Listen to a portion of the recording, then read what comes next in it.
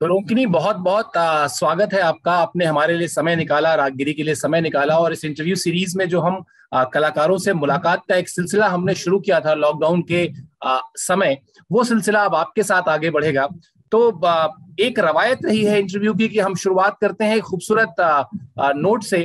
कोशिश करते हैं कि भगवान की बात करें कुछ भजन की बात करें। तो सबसे पहले आपसे गुजारिश यही करूँगा कि आप कोई भजन सुनाएँ और उसके बाद हम लोग बातचीत के सिलसिले को शुरू करते हैं।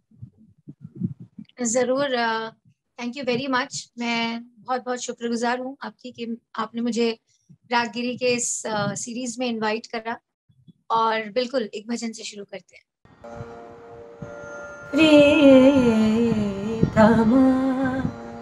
जान ले हो मन माही। प्रीतम जान ले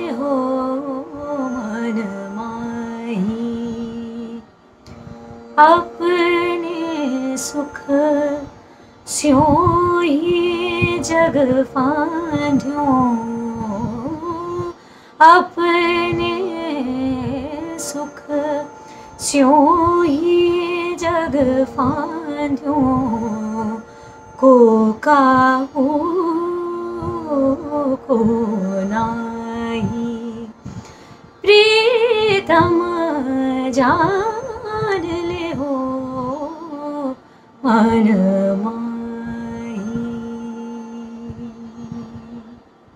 क्या बात है और जनरली हम लोग जो भजन सुनते हैं अपने मेहमानों से वो बहुत पॉपुलर और बहुत सुने हुए होते हैं। आपने कुछ एक नई चीज़ सुनाई तो थोड़ा और ज़्यादा प्रसन्नता हुई।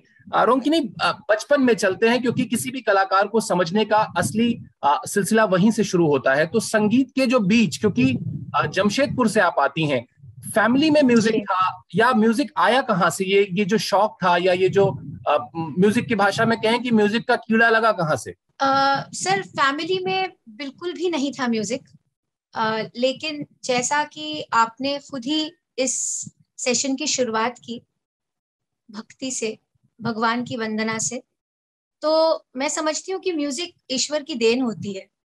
जिन्हें विरासत में मिलती है उनका और भी सौभाग्य है। और जैसे मैं एक म्यूज़िक फैमिली को बिलोंग नहीं करती, लेकिन कहीं ना कहीं ये आशीर्वाद है, एक गिफ्ट है। तो शुरुआत तो वहाँ से ही हो गई। आप समझिए कि यूनिवर्स ने सबसे पहले जो है वो गिफ्ट म्यूज़िक का जो गिफ्ट है, वो एक वरदान मुझे मिला, ऐसा मैं समझती हूँ। उसके बाद जो हमारे भगवान रूपी जो माता पिता होते हैं, क्योंकि उन्हीं के बदौलत हम इस यूनिवर्स में आते हैं। तो उनका बहुत बड़ा योगदान रहा मुझे म्यूज़िक की तरफ़ मेरा रुझान पैदा करने के लिए। गाते तो वो नहीं थे, लेकिन कहीं ना कहीं वो ज़रूर सुनकार रहे होंगे। और एक आइडेंटिफाई करना कि बच्चे में शायद थोड़ी कला है। And actually I am Bengali तो बंगाली परिवारों में थोड़ा सा आर्ट और कल्चर की तरफ़ उनका रुझान थोड़ा ज़्यादा होता है। तो बचपन से ही थोड़ा सा ड्राइंग हो गई पेंटिंग हो गई डांस हो गया म्यूज़िक हो गया। इन सब चीज़ों की तरफ़ मुझे थोड़ा शुरू से ही उन्होंने प्रोत्साहित किया एज अ चाइल्ड और उसके बाद वो कहते हैं ना कि जिसमें एक धुन की लग गई, फिर उसको लेके फॉलो किया। वैसे मैंने कथक भी सीखा था जब मैं छोटी थी, थोड़ा बहुत ड्राइंग पेंटिंग भी मैं कर लेती हूँ। तो थोड़ी बहुत लिखने की भी मुझे इच्छा रहती है तो मैं लिखती भी हूँ थोड़ा बहुत। लेकिन लेखक नहीं कह सकती अपने आप को ना ही पेंटर कह सकती हूँ ना ये सारी थोड़ी बहुत चीज़ें कर, करती हूँ मैं। पर म्यूज़िक की तरफ़ आ, पहले एक डिसिप्लिन क्रिएट हुआ फिर वो डिसिप्लिन इसलिए क्योंकि जमशेदपुर में एक बहुत अच्छे गुरु होते थे श्री चंद्रकांत आपटे जी जो मेरे पहले गुरु रहे जिनसे मैंने दस साल तालीम ली।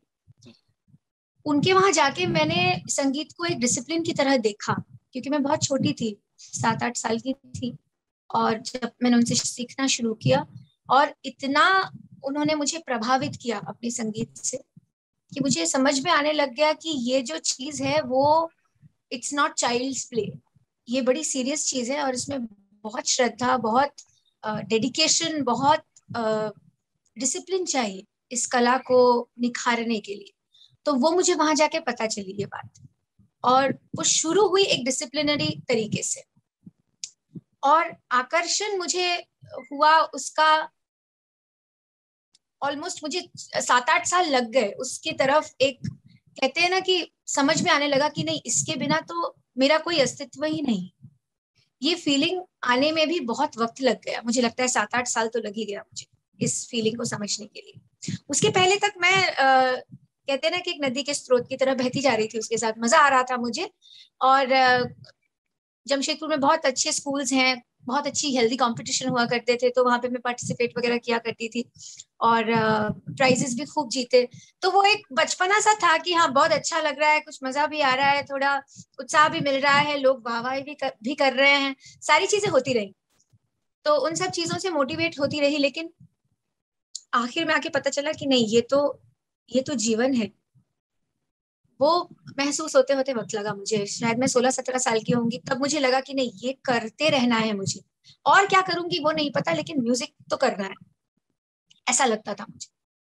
अच्छा मैं एक चीज़ ये भी समझना चाहूँगा आप जमशेदपुर से आती हैं। मैं भी इलाहाबाद से हूँ और अगर हम इन छोटे शहरों में जब ये बच्चे म्यूज़िक सीखते हैं या डांस सीखते हैं या आर्ट सीखते हैं तो बेशक अपने परिवार वाले शायद हमेशा साथ खड़े हो लेकिन अड़ोस पड़ोस के लोग बहुत सारी चीज़ें आगे कह जाते हैं अरे डांस सिखा के क्या होगा? गाना सिखा के क्या होगा? पेंटर बनाना है क्या? गायक बनाओगे क्या? डांस कराओगे क्या? क्या कभी आपके पेरेंट्स के सामने इस तरह के सवाल आए? नहीं। जमशेदपुर एक्चुअली बहुत प्रोग्रेसिव सिटी uh, है। हालाँकि इट्स पार्ट ऑफ़ उस वक्त साउथ बिहार अब Jharkhand. But because it was owned by the Tata Tata Nagar कहते हैं उसको वहाँ पे स्टील प्लांट है तो सारे लोग वहाँ टाटा स्टील में ही काम करते हैं और उनके ही बच्चे। तो छोटा सा शहर है सभी प्राय एक दूसरे को जानते ही थे। और मैं तो कहूँगी उल्टा था कि अच्छा ये भी सीख रही है मेरी भी बेटी भी सीखेगी। या मेरा बेटा भी सीखेगा। हाँ बिल्कुल बिल्कुल। मुझे लगता है कि मैं आपको क्या बताऊँ मेरे गुरुजी के खुद के 400-500 स्टूडेंट्स हैं। अच्छा ये ये बड़ी बात है मतलब जमशेदपुर में अगर आप बिल्कुल बिल्कुल बिल्कुल।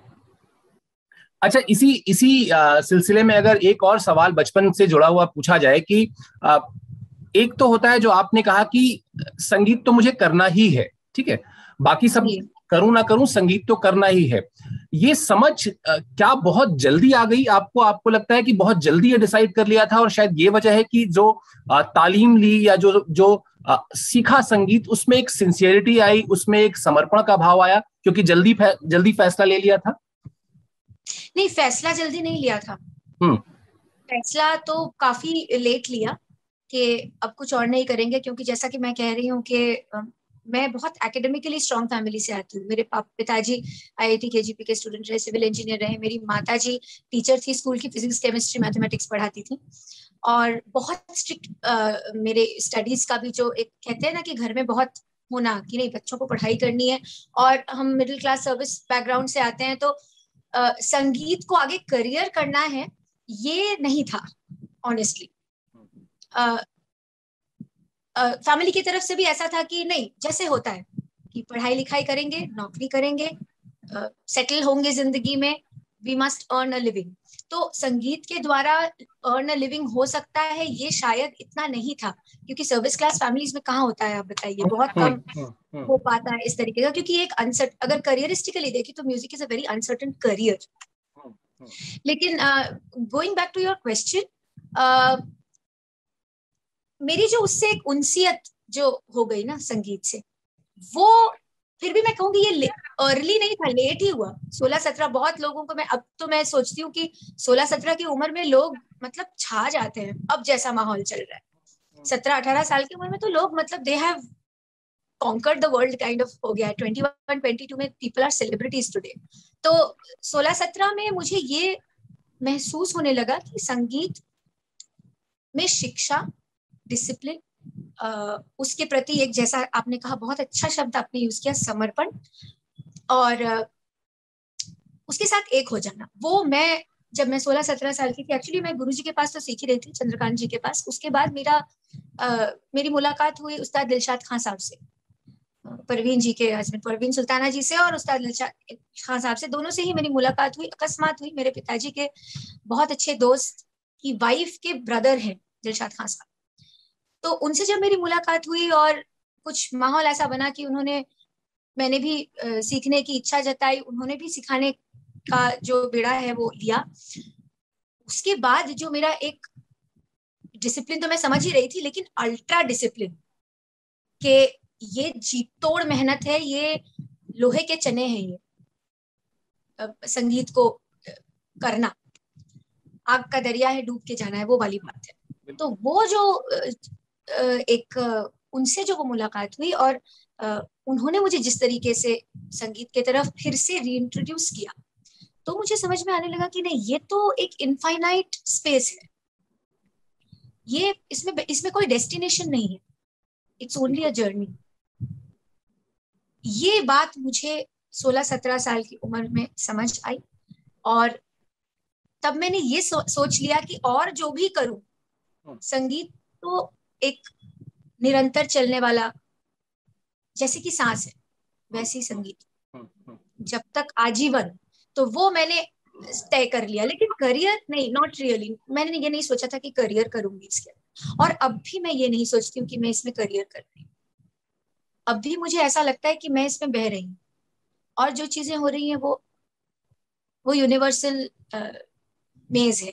वो अपने आप हो रही है। मैं उसके पीछे, क्योंकि आप कुछ कर ही नहीं सकती। ये भी रियलाइजेशन ये अब बीस साल कट टू आज मैं थर्टी सेवन ईयर्स ओल्ड हूँ तो ट्वेंटी ईयर्स हो गए हैं इस रियलाइजेशन को कि मैं इसके बिना जी नहीं सकती हूँ। और अब मुझे ये समझ में आने लगा है कि बाकी जो चीज़ें उस पर आपका वैसे भी कंट्रोल है नहीं।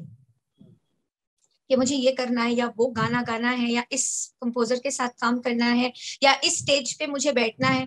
मुझे लगता है कि ये गोल्स जो है, ये ये बहुत दिमागी बहुत सेरिब्रल गोल्स हैं लेकिन music is way beyond that cerebral control तो वो चीज़ें अपने आप चल रही है। मैं जो कर रही हूँ वो है कि उस चीज़ को पकड़ के रखना जितना मेरे uh, से हो सके।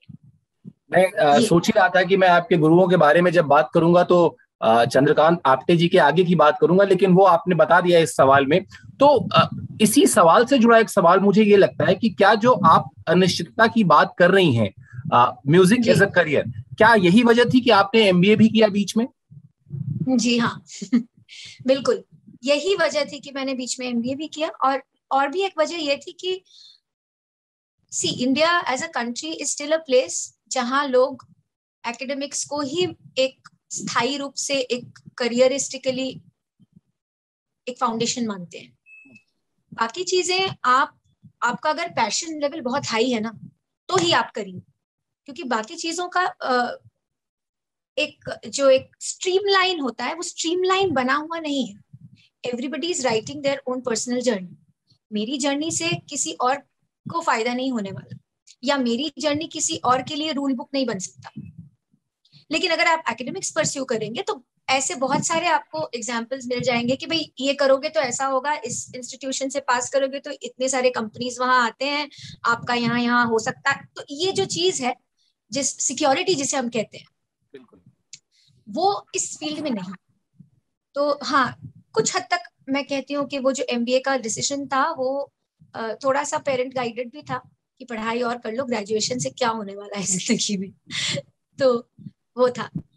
तो यस आई वुड से मैं आपके एक कार्यक्रम की चर्चा और उसकी याद आपसे ज़रूर पूछूँगा क्योंकि हम सब जानते हैं जो भी संगीत की तरफ़ रुचि रखने वाले लोग हैं उनको पता है कि डोवर लेन फेस्टिवल की क्या अहमियत है भारतीय शास्त्रीय संगीत में क्या परंपरा है उस फेस्टिवल की।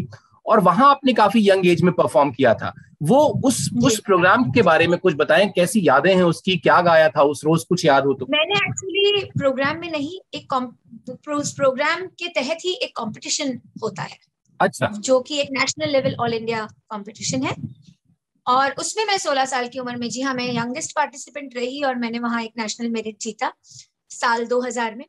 वो बहुत अच्छा एक्सपीरियंस था मेरे लिए बहुत बड़ा आई ओपनर था। क्योंकि पहली बार एक नेशनल लेवल के it was like an exam एक परीक्षा जैसी थी वो। क्योंकि एक क्लोज रूम में था। It was not a public performance जो, जिसको जज किया जा रहा था। बिल्कुल क्लोज रूम के अंदर आपको एक परीक्षा की तरह वो अटेम्प्ट करना होता है। और मुझे आज भी याद है, मैंने मियाँ की तोड़ी वहाँ सुनाया था। और दस मिनट में आपको अपनी कला का प्रदर्शन करना पड़ता है और उसमें कई सारे राउंड्स होते हैं। कुछ दो तीन राउंड्स होते हैं। तो उसको पार करने के बाद फाइव लोग सिलेक्ट होते हैं for the national mediate in each category तो मैंने ख्याल में पार्टिसिपेट किया था और उसमें मुझे नेशनल मीडिएट मिला था। तो बहुत अच्छा एक्सपीरियंस था, बहुत अच्छा अनुभव था। मुझे ये समझ में आने लग गया कि ये जो चीज़ है, वो मुझे अच्छी लग रही है। क्योंकि उसमें एक इनफाइनाइट स्पेस को मैंने डिस्कवर किया। और मैं ये इनफाइनाइट बार बार ये शब्द इसलिए कह रही हूँ क्योंकि मैंने अपनी ज़िंदगी में आगे चल के लाइट म्यूज़िक भी किया। बॉलीवुड में भी गाया मेन स्ट्रीम सिनेमा में भी गाया। तो वो एक अलग एक्सपीरियंस है और ख्याल प्योर क्लासिकल जो है, जिसको मैं पकड़ के रखना चाहती हूँ और जो मेरी, जो मेरा धरोहर है जिसे, वो उसका मुझे लग गया कि नहीं, ये तो ये तो कुछ और है।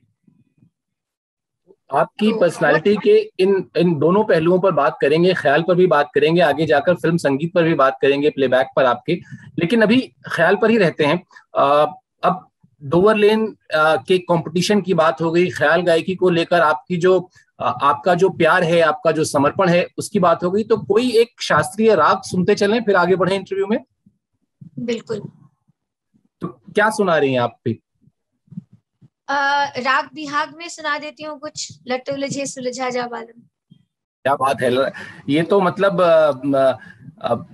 राग बिहाग के बारे में मैं इतना कह सकता हूँ कि मतलब ये जो आपने बताया ये प्रॉपर बंदिश है। हालाँकि बहुत से लोगों ने इस इस इस बंदिश के साथ एक्सपेरिमेंट्स भी किए हैं लेकिन है बहुत खूबसूरत बंदिश तो पहले वो वो सुन लेते हैं। लट उलझ सुलझा जा बालमा लट जा जा बालमा, हाथों में मेहंदी लगी है मोरी। हाथों में मेहंदी लगी है मोरी। हाथों में मेहंदी लगी है मोरी। लट उलझ सुल जाए जा माथे की बिंदिया बिखर गई मोरे माथे की बिंदिया बिखर गई मोरे। अपने हाथ लगा जा बालमा, अपने हाथ लगा जा बालमा। लट बुलझ सुन जा जा क्या बात है रोंकनी और मुझे तो राग बिहाग पर वो गाना भी याद आ गया कि मतलब उसी की ज़मीन पर जो तैयार है गाना ज़िंदगी के सफ़र में गुजर जाते हैं जो मुकाम। खैर आगे बढ़ते हैं। और अब बात कर लेते हैं आपके करियर की अभी तक का जो प्रोफेशनल करियर है उसमें जो आपका एक समय आया रियलिटी शोज़ का जिससे आपको एक हाउस होल्ड नेम जिससे आपको एक कह सकते हैं कि फ़ेमस हुई आप लोग आपको जान गए लोग आपको पहचानने लगे फिर आपने काफ़ी वर्ड टूर्स भी किए उसके बाद। तो वो वो कैसा एक्सपीरियंस रहा? बेहतरीन मैं कहूँगी। ज़िंदगी में जितने भी मेरे म्यूजिकल एक्सपीरियंसेस रहे उसमें से एक माइलस्टोन एपिसोड था सारे गामापा का मंच। और उस वक्त मैं आपसे कहूँ सर ये कि वो रियलिटी टीवी नहीं था। उस वक्त वो एक टैलेंट हंट था। तो उस और मैं इसलिए कह रही हूँ क्योंकि उसकी ऑथेंटिसिटी बहुत अलग थी। And that is not to say आज जो हो रहा है वो it's not I am not going to pass a judgement on that but at the same time I think उस, उसमें जो रियलिटी थी वो आज नहीं है। It was really real at that point of time जब एक जजेस चॉइस का राउंड होता था तो सचमुच जज उस वक्त, उस मोमेंट पे हमें एक गाना देते थे। और ऐसा हो सकता था कि वो गाना हमें ना आता।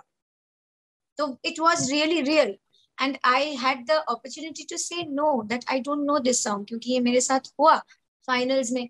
तीन गाने मुझे दिए गए और मुझे उसमें से एक भी नहीं आता था। तो जो मुझे सबसे उस, उन, उस तीनों में मुझे जो सबसे ठीक से आता था, मैंने वो अटेम्प्ट कर लिया। तो इट वॉज़ दैट रियल और उसके अलावा भी जो दूसरे एक्सपीरियंसेस थे कि एक मतलब बटरफ्लाईज इन द स्टमक होना उस मोमेंट के अंदर चीज़ें होना uh, मुझे याद है मैंने फाइनल्स वर्ल्ड सीरीज़ जब मैं जीती थी तो वो दुबई में हुआ था तो बहुत ठंड थी वहाँ पे ओपन स्टेज था और uh, मुझे याद है कि जो कॉस्ट्यूम्स थे लड़कियों के वो थोड़े से ऐसे स्लीवलेस और ये वो तो मैंने बहुत मिन्नतें की डायरेक्टर साहब से कि प्लीज़ मुझे स्वेटर पहनने दीजिए उसके नीचे। तो मैंने अपने तीनों एपिसोड्स के एपिसोड्स में अपने सलवार कमीज के नीचे काला स्वेटर पहना हुआ है। तो वो जो, वो मेमोरीज जो है, वो, उसमें बड़ा एक इनोसेंस था सर मैं क्या बताऊँ आपको? बहुत इनोसेंट होते थे उस वक्त चीज़ें कि रियल जिसको हम कहते हैं कि सब सचमुच हो रहा, हो रही है वो चीज़ें। और इतना मुझे याद है कि मेरी मम्मी ने बोला था, इतना ऑकवर्ड सा लग रहा है, इतने खूबसूरत तुम्हारे ड्रेसेस और नीचे काला स्वेटर पहन लिया तुमने हर ड्रेस के नीचे। मैंने कहा बट दैट इज़ वो नीड ऑफ़ द आवर था वरना वो कांपते कांपती रहती है मैं वहाँ स्टेज के अंदर। तो ये सब चीज़ें। But yeah it was a fantastic experience और मेरे जो जजेस रहे वो एक से एक दिग्गज कलाकार थे। हमें वही आ रहा था मुझे जहाँ तक याद है गुलाम अली साहब थे जगजीत सिंह जी थे। हाँ बिल्कुल मेरे ख्याल से अप्पा जी भी थी एक आध एपिसोड में गिरजा जी। यस गिरजा देवी जी सितारा देवी जी अबिदा परवीन जी मतलब स्टॉलवर्ड्स जिनका संगीत सुन के हम आज भी मतलब जिनको प्रणाम करते हैं जिनके सामने नतमस्तक होते हैं वो कलाकार। अच्छा रोमकिनी मैं अब आपको एक छोटी सी बात रागगिरी के बारे में बताता हूँ फिर उससे जुड़ा आपसे सवाल पूछूँगा। जब हमने रागगिरी शुरू किया था मेरा स्पोर्ट्स जर्नलिज्म का बैकग्राउंड है मेरा संगीत से सीधा oh कोई रिश्ता नहीं है। आ, ना मैंने कभी संगीत सीखा है लेकिन मुझे शास्त्रीय संगीत सुनना पसंद है। मुझे अफसोस तब होता है या कह लें थोड़ी तकलीफ़ तब होती है जब आर्टिस्ट अपने कार्ड पे लिखते हैं कि आठ साल से छोटे बच्चे कार्यक्रमों में ना आए। या जब एक आर्टिस्ट स्टेज पर जाकर ये कहता है कि मैं सत्तर साल से ये इंस्ट्रूमेंट बजा रहा हूँ लेकिन मैं बजाना अभी सीख ही रहा हूँ। ये मॉडेस्टी हो सकती है उसकी। इसके अलावा एक जो हवा है शास्त्रीय संगीत का कि कोई बहुत ही भारी रॉकेट साइंस है और बहुत ही डराने वाली चीज़ है मतलब हम आपको आप आप हम्म। समझ सकते हैं इसको। तो मुझे लगता है कि क्या हम इस तरह की सोच से शास्त्रीय हम्म। संगीत का नुकसान कर रहे हैं। और इसीलिए जब रागगिरी 2014 में हमने शुरू किया तो हमने हमेशा कहा कि हमारा मकसद है कि हम अपने बच्चे को दूध पिलाएँ। लेकिन उस दूध में अगर थोड़ा सा चॉकलेट पाउडर डाल के उसका स्वाद बदल सकें उसका रंग बदल सकें तो हम क्यों ऐसा ना करें? बच्चे को हम दूध ही पिला रहे हैं हम बच्चे को चॉकलेट पाउडर नहीं पिला रहे हैं। लेकिन हम उसका स्वाद बदल रहे हैं। क्या आप इससे सहमत हैं कि हमारे पास इस वक्त जो शास्त्रीय संगीत है अगर उसको हमें और फ्लरिश करना है और आगे लेकर जाना है तो हमें थोड़ा सा उसके प्रति पोलाइट होना होगा थोड़ा सा एक्सपेरिमेंटल होना होगा और थोड़ा सा उसको इजी वे में समझाना होगा बच्चों को। बिल्कुल। I am completely in agreement with you on this topic in fact वो सिर्फ़, देखिए, दो बातें हैं। Let us start from the very beginning जैसा कि आपने कहा कि उसको एक हवा बनाया जाता है या उस शास्त्रीय संगीत को लेकर एक हमारे दिमाग में एक बिगनेस है। एक ऐसा बिगनेस है कि लोग उससे डर जाते हैं कई बार। हम्म, हम्म।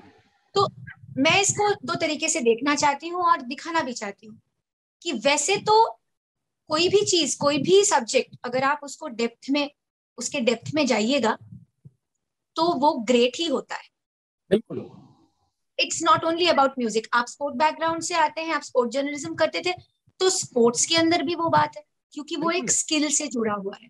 और स्किल जहाँ जैसे ही आपको स्किल पॉलिश करने की बात आती है तो इनफैक्ट अभी ओलंपिक्स भी चल रहे हैं तो मैं जब आ, पीछे जब वो शुरू हो रहा था और मैं एक आध इंटरव्यूज़ देख रही थी तो कोई बहुत ज़्यादा अलग नहीं है स्पोर्ट का जो की जो वो तैयार क्योंकि it's a very big stage Olympics उसकी जो तैयारी है उसमें जो बातें हो रही थी वो मुझे अपने गुरुओं के बातों से कोई अलग नहीं लगी। सेम टू सेम वही चीज़ें कह रहे हैं skill timing practice very very high level of devotion focus attention ये ही तो, तो चीज़ें हैं। और अगर आप देखेंगे सही मायने में तो ये चीज़ है तो बहुत बड़ी। बहुत बड़ी चीज़ है। ठीक है? जो 99 प्रतिशत लोग अपनी ज़िंदगी में जो भी फ़ील्ड में हो वो अचीव नहीं कर पाते हैं एट अ हाइटेंड लेवल इसलिए we I mean there there is average and then there is excellence excellence is not something which is ordinary excellence right. is extraordinary right. let us accept it so that is point number one तो सिर्फ़ शास्त्रीय संगीत नहीं अगर मैं बॉलीवुड या main stream cinema संगीत की भी बात करूँ अगर आपको एक्सेल करना है उसमें तो it is a tough game it is a लंबी race and it is not a momentary thing कि आप एक साल में हो जाएगा जी दो साल में हो जाएगा जी हो गया जी वो हो कभी नहीं जाता। वो एक फ़ेज़ होता है जब आप उसको हाइटेंड लेवल पे ले जाते हो, फिर वो एक्सेल करता है और उसके बाद एक फ़िज़िकल डिप आता ही है because everything that comes up goes down तो वो वो एक ग्राफ बनता है। ये हो गई पॉइंट नंबर वन दूसरी जो बात आपने कही, उससे मैं सहमत हूँ कि इस चीज़ को हमें शुरू से ही हमें ये बताने की ज़रूरत नहीं है जी कि आसमान बहुत बड़ा है और वो एक्चुअली मीनिंग टू से कि जब हम एक बच्चे को समझाते हैं कि दुनिया गोल है और तो हमको हम उसको शुरू से नहीं ये बताने लगते कि ग्रेविटी क्या है। उसको ज़रूरत नहीं है बताने की। बिल्कुल। ठीक है। हम उसको क्योंकि उसको तो एक्चुअली समतल ज़मीन दिख रहा है उसको अगर हम कह भी देंगे कि अर्थ इज़ राउंड तो उसको पहले दिन समझ नहीं आएगा। और ये बात मैं क्योंकि मेरे घर में बच्चे हैं मैं जानती हूँ दो ढाई साल की थी मेरी नीस। तो उसने ही भी मुझे पूछा था कि अगर गोल है तो ये जो पानी वाला एरिया है चाची उसमें से पानी नीचे गिर क्यों नहीं रहा? ठीक है? तो अब बच्चे के मन में आप देखिए कि वो जो ग्रेविटी का जो पूरा कॉन्सेप्ट है उसका प्रश्न उसके दिमाग में ढाई साल में आ गया। आ गया बिल्कुल। ठीक है? तो वो जो एक इनॉर्मस सवाल है वो सवाल इनॉर्मस है उसका जवाब भी बहुत इनॉर्मस है। ज़रूरी नहीं है कि मैं ढाई साल में उसको gravity force is equal to mass into acceleration समझा पाऊँ क्योंकि समझाने है ही नहीं वो नहीं समझा सकते हाँ। तो उसको स्टेप बाय स्टेप ही मुझे वहाँ तक लेके जाना पड़ेगा। ठीक है? तो शास्त्रीय संगीत में भी वो ज़रूरी है कि वो है तो बड़ी बड़ी चीज़ इसमें कोई डाउट नहीं। लेकिन जब हम उसकी शुरुआत करें तो let us make it easy let us make it start from the fundamentals क्योंकि शास्त्रीय संगीत है कि अल्टीमेटली वो सारे गामा पद नहीं है और शास्त्रीय संगीत की बात नहीं, कोई भी संगीत आप दुनिया में ले लीजिए, इन्हीं बारह स्वरों में ही वो घूम रहा है, उसके बाहर तो नहीं है, तेरवा तो कुछ है ही नहीं। तो फंडामेंटली तो आपको वो समझना ही पड़ेगा। तो we can try and reinvent the processes कि कैसे हम उसको दे रहे हैं और किस तरीके से हम इनफैक्ट अब तो और भी ज़्यादा वर्चुअल स्पेस के अंदर आप देखिए इकोसिस्टम कितना चेंज हो जा रहा है। जो पहले के जमाने के लोग सोचते थे कि हाँ ये है, बहुत बड़ी चीज़ है तो इसमें हमेशा माहौल वैसा रहना चाहिए तो गुरुकुल होते थे। उसमें डे एंड नाइट अगर बच्चा संगीत सीख रहा है तो वो तानपुरे की आवाज़ से उसकी नींद खुल रही है। और वो सोने भी जा रहा है तो कोई बड़ा आदमी रियाज कर रहा है, उस उस, उन स्वरों में वो सोने जा रहा है। तो वो दिन तो अब रहे नहीं। मैं उठती हूँ मेट्रो के चलने के शोर से। अब हमारा इकोसिस्टम भी चेंज हो चुका है। तो व्हाट आर वी सब what is our responsibility as people who have gone through this process और मैंने बहुत अच्छे प्रोसेस में भी संगीत सीखा, जहाँ पे मैं अपने गुरु जी के घर जब जाती थी, जमशेदपुर की बात वापस करती हूँ, हफ़्ते में एक ही दिन का क्लास हुआ करता था मेरे, लेकिन मेरे को गुरु जी बोलते थे, तुम रोज क्या करती हो? शाम के समय क्या करती हो? तो वही होता था कि खेल कूद ये तो खेल कूद से थोड़ा आ जाया कर। उन्होंने इतना ही कहा। हो सकता है कि उनसे पचास साल पहले उनके गुरु ने उनको ये भी ऑप्शन भी ना दिया हो। बड़ा स्ट्रिक्टली बोला होगा कि यहीं बैठो। हाँ, बिल्कुल। क्योंकि वो थोड़े से और प्रोग्रेसिव थे तो उन्होंने बोला कि देख लो अच्छा लगता है तो आ जाया करो। तो when you give freedom to a person that person also has to be responsible वो इकोसिस्टम के मुझे लगता है मेरे गुरु जी बहुत प्रोग्रेसिव थे। और मेरे सारे गुरु बहुत बहुत, भगवान की दया से बहुत प्रोग्रेसिव रहे। कभी उन्होंने ये नहीं कहा कि ये संगीत छोटा है, ये संगीत बहुत बड़ा है। नहीं। आज सेवेंथ स्टैंडर्ड में मैं होती थी, मेरे क्लास के बाद गुरुजी, वो चित्रहार उस वक्त चलता होता था, तब हम लोग बहुत छोटे थे। नाइनटीज की मैं बात कर रही हूँ। तो वो मुझे कमरे में आके, देखो ये झांझरिया, उसकी झनक गई, वो उसमें भी, तारा रा तो पूछते थे रोंकिनी ये किस क्या लग रहा है कौन से राग में होगा तो ये उनका इतने वो प्लेफुल थे तो you have to make things more accessible ये किसी भी फ़ील्ड uh, में मुझे लगता है लेकिन एट द सेम टाइम गुरु हमेशा यही चाहते हैं कि उस चीज़ की सीरियसनेस को हम समझे क्योंकि ये कला है तो बहुत फाइन ये फाइन आर्ट है देखिए उस आर्ट के पहले फाइन शब्द भी और फाइन का मतलब होता है महीन। तो जितना महीन वो होगा उतना डिटेल्ड होगा वो। और जितना डिटेल अगर आपको देखना है उस डिटेल बारीकी को अगर आपको पहचाननी है आपको थोड़े पापड़ तो बेलने ही पड़ेंगे। इसमें कोई डाउट नहीं। मैं तो, तो जब जाता हूँ मैं तो जब जाता हूँ रागगिरी की तरफ़ से स्कूलों में बच्चों से इंटरेक्शन करने के लिए तो मैं तो उनको इस तरह से समझाता हूँ कि बच्चों भारत का सबसे बड़ा अवार्ड जो है वो भारत रत्न है। और एक टर्म बहुत फ़ेमस हुआ किंग खान। तो हम किंग खान शाहरुख आमिर या सलमान को क्यों मानते हैं? हमें तो बिस्मिल्लाह खान साहब को किंग खान मानना चाहिए क्योंकि अगर वाकई किंग खान कोई पदवी है तो वो बिस्मिल्लाह खान साहब को मिलनी चाहिए। या जैसे छोटे बच्चे जैसे छोटे बच्चों में छोटा भीम बहुत प्रचलित है क्यों ना उन बच्चों को उसी उम्र में बताया जाए कि एक बड़े भीम भी हैं और उनका नाम है पंडित भीमसेन जोशी। तो तो तो इस तरह से हमने ए टू जेड का पूरा इंस्ट्रूमेंट के हिसाब से बनाया A for accordion B for banjo C for conga D for drum E for इस तरह से करके पूरी अल्फ़ाबेट की बुक बनाई थी छोटी सी बच्चों के लिए ताकि आ, मुझे लगता है कि सबसे पहले हम बच्चे में इनकलकेट कर दें उसको अवेयर कर दें उसके बाद वो सीखना चाहता है नहीं सीखना चाहता है जानना चाहता है हाँ, उसे कम से कम पता होना चाहिए कि अलाउद्दीन खान साहब कौन थे या उसको पता होना चाहिए कि बिस्मिल्लाह खान साहब कौन है ठीक है? तो इस पर ही हम लोग काम करते हैं। खैर अब एक आपसे चूँकि इतनी बातचीत हो गई। बहुत अच्छी सोच है। क्या बात बहुत बहुत धन्यवाद। और और अब चूँकि हम लोग क्लासिकल म्यूज़िक से अगले स्टेज पे जाएँगे और आपके प्लेबैक पर आएँगे जिसमें शायद आ, आ, इसको फॉर्चुनेट कह लें अनफॉर्चुनेट कह लें जो भी कहना चाहें लेकिन जिससे ज़्यादा पहचान मिल जाती है जिससे ज़्यादा आपको हम्म। लोग जानने लगते हैं तो उससे पहले एक कोई और राग शास्त्रीय राग पर बात कर लेते हैं आपसे सुन लेते हैं और फिर आगे बढ़ेंगे उस हिस्से पर ज़रूर मैं राग यमन में आपको एक बंदिश सुनाती हूँ और मैं खुद सेल्फ कंपोज भी करती हूँ बंदिशें और ये चीज़ मैंने अपने गुरु जी से ही सीखी है क्योंकि वो मैं उनकी बंदिशें बहुत गाती हूँ। वो खुद कंपोजर रहे बहुत अच्छे बहुत उम्दा कंपोजर रहे इतने अच्छे कंपोजर रहे कि जगह जगह से लोग आए और उनसे सिर्फ़ बंदिशें सीखने आते थे। अलग अलग जगहों से मैं जमशेदपुर में रहती थी कभी लखनऊ से कभी रौरकेला से कभी पूना से लोग आते थे और उनसे सिर्फ़ बंदिश सीखने के लिए आते थे। वो इतने अच्छे इतने अच्छे बंदिशकार थे।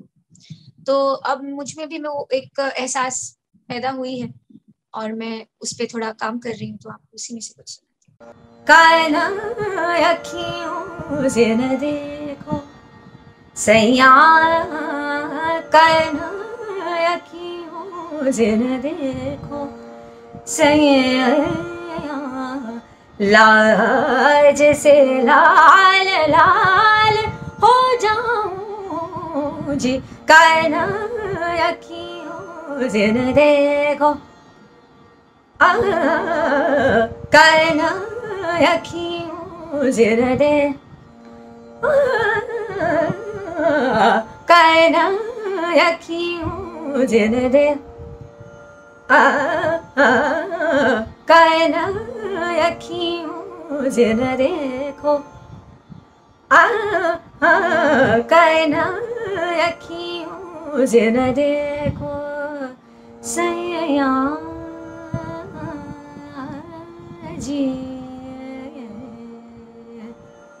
क्या बात है रोमकनी? देखिए, बात से ही बातचीत निकलती है और मुझे ये तो पता था कि आप बहुत अच्छा गाती हैं, शास्त्रीय संगीत और फिल्मी म्यूज़िक दोनों के साथ साथ लेकिन कंपोज करती हैं, ये इस इंटरव्यू में भी पता चला। और इसके लिए भी आपको बधाई कि आप इस दिशा में भी काम कर रही हैं और शुभकामनाएँ भी। खैर, अब आते हैं उस हिस्से पर जो एक एक शास्त्रीय संगीत का जो कलाकार है वो कई बार अवॉइड भी करना चाहता है। जैसा आपने कहा कि आपके गुरुओं ने कभी नहीं कहा कि ये छोटा संगीत है या ये फ़िल्म संगीत जो है वो हल्का होता है। तो ज़ाहिर है जब इस तरह की तालीम मिली तो आपने भी प्लेबैक में आ, काम किया आपने बहुत खूबसूरत गाने गाए। लेकिन मुझे लगता है कि सबसे ज़्यादा जिसकी फरमाइश आती होगी या सबसे ज़्यादा जिस गाने को पहचान मिली रफू था वो? जी हाँ। कैसे कैसे उस हाँ। गाने की कहानी क्या है? कहानी तो इतनी इंटरेस्टिंग है सर उसकी, कि मैं कितनी बार भी दोहराऊं, वो उतना ही मेराक्यूलस रहेगा मेरे लिए, ज़िंदगी भर। जैसा कि मैंने आपसे कहा कि इन सब चीज़ों पे हमारा ज़ोर नहीं होता। और खासकर मेरा तो बिल्कुल भी नहीं था, क्योंकि मेरा रुझान, जैसे कि मैंने पहले ही बताया, शास्त्रीय संगीत की तरफ़ बहुत ज़्यादा था। हालाँकि after winning Saregama Pa I did Broadway shows etcetera वहाँ जाके एक्चुअली मुझे एक रियलाइजेशन हुई कि ये जो संगीत है अच्छा बहुत है जजमेंट नहीं है उसमें कुछ it's brilliant there is a lot to learn also क्योंकि माइक के पीछे गाना और मतलब स्टूडियो के अंदर हम्म। और माइक के पीछे लाइव गाना ये दोनों बहुत अलग कला हैं। अलग चीज़ है बिल्कुल। दोनों में बहुत अलग एक ये दोनों अलग फील्ड्स हैं क्षेत्र अलग है ठीक है? तो वो क्योंकि उससे भी मेरा उससे भी मैं रूबरू हुई तो मुझे समझ में भी आने लगी वो चीज़ें। लेकिन in that whole system of Broadway show tours that I was doing मुझे एक चीज़ लगी कि वो लिमिटिंग था। उसमें मुझे ग्रोथ नज़र नहीं आई।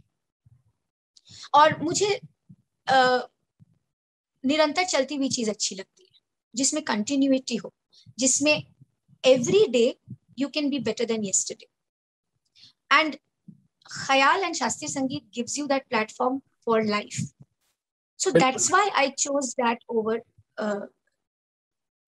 light music और मैं एक्चुअली ये शब्द भी इस्तेमाल नहीं करना चाहती हूँ लाइट क्योंकि लाइट कुछ नहीं होता। Everything has its own gravitas और ये क्योंकि मैंने मेन स्ट्रीम सिनेमा में भी गाना गाया है, इस बात को मैं बहुत अच्छे से समझती so coming back to the story of Rafu के मेरे एक स्टूडेंट थे, शांतनु घटक, जो मुझसे गाना सीखते थे और he is the composer and writer of the song तो उन्होंने एक्चुअली फ़िल्म में उनका एक छोटा सा रोल था। और खैर, वो तो बहुत बाद में आया। पहले वो मेरे 2015 में मेरी उनसे मुलाकात हुई। वो एज अ स्टूडेंट मुझे मिले। और he is a brilliant composer वो मुझे कुछ दो तीन महीने में पता चल गई बात। जैसे होता है कि अब जैसे गुरु शिष्य की परंपरा में देखिए, अब कितनी अलग चीज़ें हो गई हैं कि वो हमारे मेरे हम उम्र है, मुझसे थोड़े बड़े हैं चार पाँच साल बड़े ही हैं।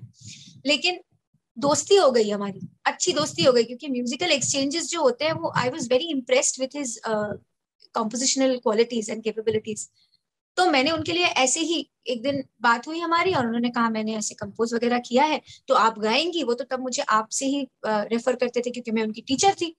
तो मैंने कहा, सुनाओ। पहले तो मैंने उनको बड़ा जज किया अच्छा तुम कंपोजर हो उस तरीके का, अभी तो दो महीने से तुम गाना सीख लो कंपोजर कैसे बन गए? वैसी वाली बात। तो उन्होंने मुझे गाना सुनाया and I was so jacked मुझे लगा, इतना खूबसूरत कंपोज करते हैं, ये क्या है? ये आमद है? ये तो सीख ही रहा है, ये क्या? तो उन्होंने कहा, नहीं, मेरा पास्ट है, मेरे फादर कंपोजर थे, मेरे दादाजी भी कंपोजर उनके सचमुच he comes from a musical background तो देखिए, इसलिए मैं कह रही हूँ कि म्यूज़िक एक गिफ्ट है। तो कब कौन कैसे, कोई नहीं बता सकता। तो वो वो वाली बात है। तो मुझे बहुत अच्छी लगी उनकी कॉम्पोजिशन और हमने तय किया कि चलिए एक एल्बम करते हैं। ऐसे ही विदाउट एनी मोटिवेशन कोई खरीदने नहीं वाला था, कोई सुनने नहीं वाला था, कोई बेचने नहीं वाला था, कोई बिकवाने नहीं वाला था। हम शुरू हो गए, जैसे कि काम करते हैं। तो किया वो हमने, और उस दौरान क्या हुआ कि हमने एक अभी सोशल मीडिया की वजह से इंस्टाग्राम में हमने एक छोटा सा स्निपेट भी डाला, एक गाना था उनका, उसका। तो अब वो जो स्निपेट है, वो फ़िल्म जिस फ़िल्म में वो काम कर रहे थे, उसमें he is a small time actor also वो छोटे मोटे रोल्स करते हैं एड फ़िल्म करते हैं वगैरह। तो वो डायरेक्टर ने देखा और कहा अरे शांतनु तुम ये क्या टाइम पास करने के लिए करते हो कि I you serious about composition because I love this song it was not rough it was another song तो उन्होंने कहा सर आप मुझे ब्रीफ दीजिए मैं आप मैं कोशिश करूँगा. तो डायरेक्टर साहब से उनकी अच्छी दोस्ती थी क्योंकि उस फ़िल्म पे वो काम कर रहे थे। तो उन्होंने ब्रीफ कर दिया वो मुझे साथ लेके गए कि सुरेश त्रिवेणी जी उनका नाम है उनके घर गए हम।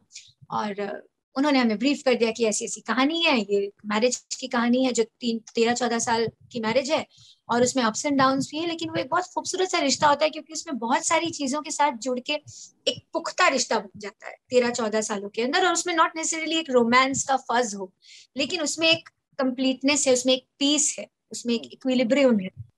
और वो बहुत सारी चीज़ों से जुड़ जुड़ के रफू हो हो के वो कपड़ा जो है वो जुड़ जुड़ के बन, बना हुआ होता है।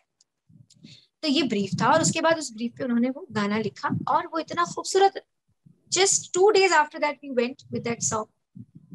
And it was done and it came in the film and the next thing we knew was कि छह महीने बाद वो गाना रिलीज़ हो गया और वो फ़िल्म फेयर में नॉमिनेट हो गया। वो मेरा पहला गाना था फ़िल्म इंडस्ट्री के अंदर।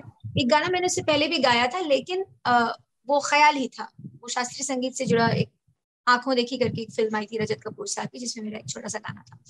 लेकिन मेन स्ट्रीम फ़िल्म के अंदर एक ओरिजिनल ट्रैक वो मेरा पहला गाना था और वो पहला ही गाना फ़िल्म फेयर अवार्ड में नॉमिनेट हो गया। तो ये अगर मेरेकल नहीं है तो क्या है? ऐसा मैं समझती हूँ, क्योंकि मेरी कभी इतनी इच्छा नहीं रही कि मैं प्लेबैक करूँ या गाए मैंने छोटे मोटे प्रोजेक्ट्स किए, लेकिन जो आते थे, वो जो एक प्लेबैक सिंगिंग का जो एक अपना जर्नी है म्यूज़िक डायरेक्टर्स को कॉल करना कहना कि भाई मैं मैं ये ये, ये गाती हूँ these are my strengths I come to the studio for an audition I have never gone through that process never in my life तो मेरे लिए तो इट वॉज़ लाइक ये क्या हो गया? इस तरीके का एक। तो सुन ले वो गाना अभी। बिल्कुल। कैसे कैसे धागों से बुनी ये दुनिया? कभी धूप, कभी बादलों की लड़िया। तूने सी है, मैंने की है रफू, ये डोरिया। तूने सी है, मैंने की है रफू, ये डोरिया।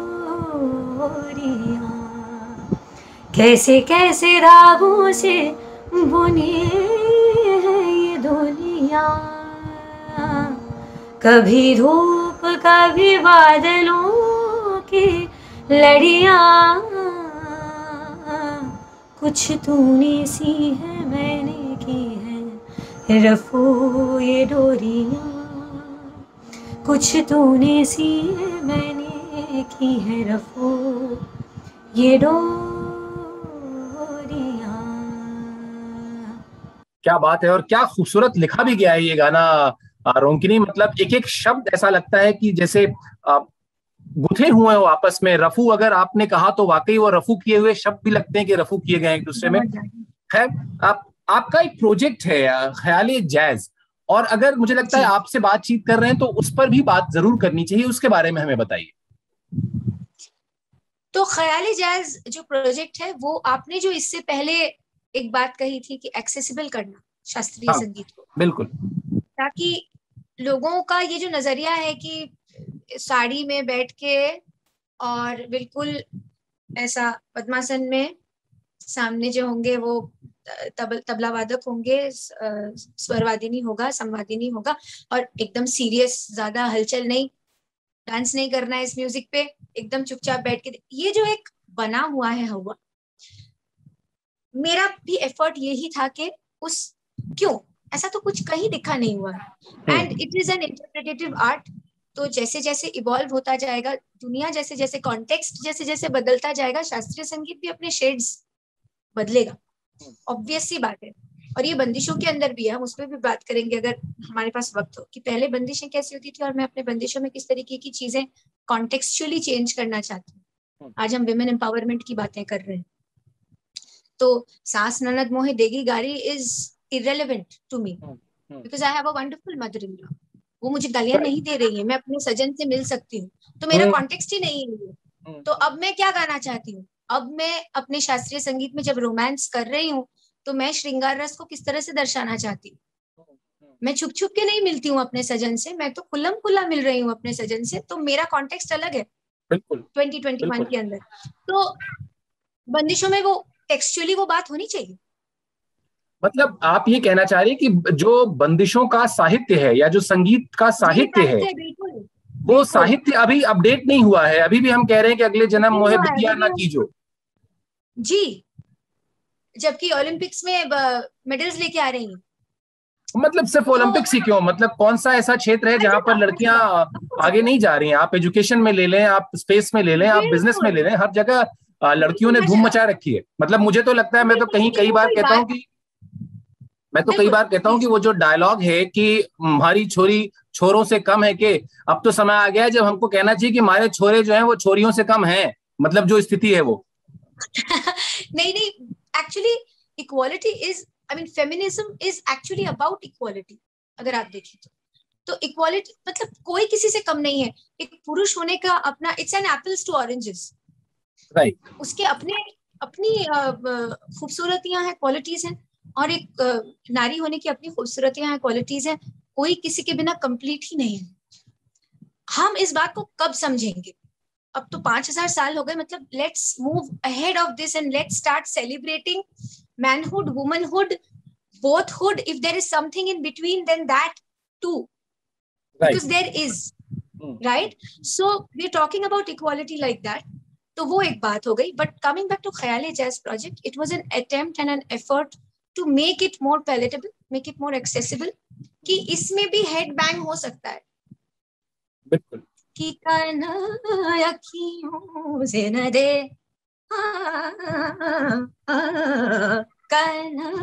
अखियों से न दे? ये है माहौल। इसके अंदर भी वो माहौल है जहाँ आप एक ट्रांस में जा सकते हैं जो हम मेटल म्यूज़िक सुन के कई बार देखते हैं ना लोग ऐसे हेड बैंग कर रहे हैं। हम्म, हम्म, हम्म। मैंने अपने डोवरलेन म्यूज़िक कॉन्फ्रेंस के अंदर भी जाके देखा है कि लोग यूँ यूँ कर रहे हैं। ये ऐसे ऐसे कर रहे हैं। तो जब अच्छा संगीत आपको अंदर से छूता है निचोड़ता है तो एक्सप्रेशन वही आने वाले हैं। ऐसा नहीं है कि ध्यान जो है वो कोई ज़रूरी नहीं है कि ऐसे ही हो। ध्यान ऐसे भी हो सकती है धुनकी की तरह। यूँ, झूम रहे हैं, हम अंदर से झूम रहे हैं। तो शास्त्रीय संगीत में भी वो है। उसकी, उसके पीछे वो वो हवा क्रिएट करने की ज़रूरत नहीं है कि बिल्कुल शांत ऐसे। ऐसा कुछ नहीं। तो वो चीज़ तो फ्यूजन के ज़रिए मैंने सोचा कि थोड़ा सा शायद और यूथ को but I try I want to confess की उसकी भी एक्चुअली ज़रूरत नहीं। क्लासिकल अपने आप में यूथफुल है एनर्जेटिक है वाइब्रेंट है सब कुछ। और सोशल मीडिया के थ्रू ही मुझे ये पता चला है कि आज भी लोग शास्त्रीय संगीत को शास्त्रीय संगीत के प्योरिटी में सुनना चाहते हैं चाह रहे हैं बच्चे छह साल के सात साल के दस साल के बच्चे। ऐसा नहीं है ये हमारी सोच है। हमको ऐसा लगता है कि नहीं नहीं ये शायद इंटरेस्टेड नहीं होंगे। ये सिर्फ़ आ, बहुत एकदम हिप हॉप और रॉक में इंटरेस्टेड नहीं, ऐसा नहीं है। सबकी अपनी अपनी टेस्ट है। और हमारा कंट्री तो इतना डाइवर्स है, सब चीज़ के लिए ऑडियंस मेरी जो फॉलोअरशिप है इंस्टाग्राम की, वही आपको बताएगी कि कितने लोग इंटरेस्टेड है ख्याल में शास्त्रीय संगीत में और बहुत टूट के इंटरेस्टेड है। बहुत डिटेल में वो जाना चाहते हैं। ऐसे ऐसे सवाल पूछते हैं वो। वही वाली बात, ढाई साल का बच्चा पूछ रहा है कि ग्रेविटी क्या है? तो है। इस, ये संगीत एक्सेसिबल करने की ज़रूरत नहीं ये चाँद, सूरज, सितारों की तरह है। ये कभी खत्म नहीं होगा। और इसके पारखी तब भी रहेंगे। आज भी जो कवि है वो चाँद सितारों की बात करेंगे। करेंगे वो। तो खूबसूरत इस इस इस इंटरव्यू का अंत इससे खूबसूरत नहीं हो सकता क्योंकि जिस दावे से आप बात कह रही हैं कि शास्त्रीय संगीत सुनने वाले उसके रसिक उसके प्रेमी उसके जानकार थे हैं और रहेंगे तो शायद रागगिरी का भी मकसद यही है कि हम उन उन उन सभी लोगों को जोड़े रखें उन सब लोगों को, को ये बताते रहें कि क्या महक है हमारी उस मिट्टी की और वो मिट्टी की महक बरकरार रहे। रोकिनी आपने समय निकाला हमारे लिए बहुत बहुत धन्यवाद। और मैं ये ज़रूर कह सकता हूँ कि जो बच्चे आपसे संगीत सीख रहे होंगे उनके लिए ये बहुत फ़ायदेमंद है कि आप भी उस टैबू से बाहर निकलकर उन्हें सिखाती होंगी कि ये बिल्कुल ऐसे मुँह पे उंगली रख के सीखने वाली कोई चीज़ है। तो बहुत बहुत धन्यवाद आपने समय निकाला और ढेर सारी शुभकामनाएँ। आप हमें बीच बीच में ऐसे ही कनेक्ट होइए ऐसे बातचीत हो तो शास्त्रीय संगीत को लेकर इंटरेस्टिंग अच्छा होगी। बहुत बहुत धन्यवाद। बहुत बहुत धन्यवाद। Thank you so much thank you Raaggiri you doing a fantastic job और मुझे इतना अच्छा लगा आपका वो एबीसी वाला। मैं भेजूँगा uh, आपको। प्लीज़ उसका वीडियो भेजता हूँ। उसका भेजिए। बिल्कुल। ज़रूर भेजूँगा ज़रूर भेजूँगा। चलिए thank you so much thank you thank you नमस्ते।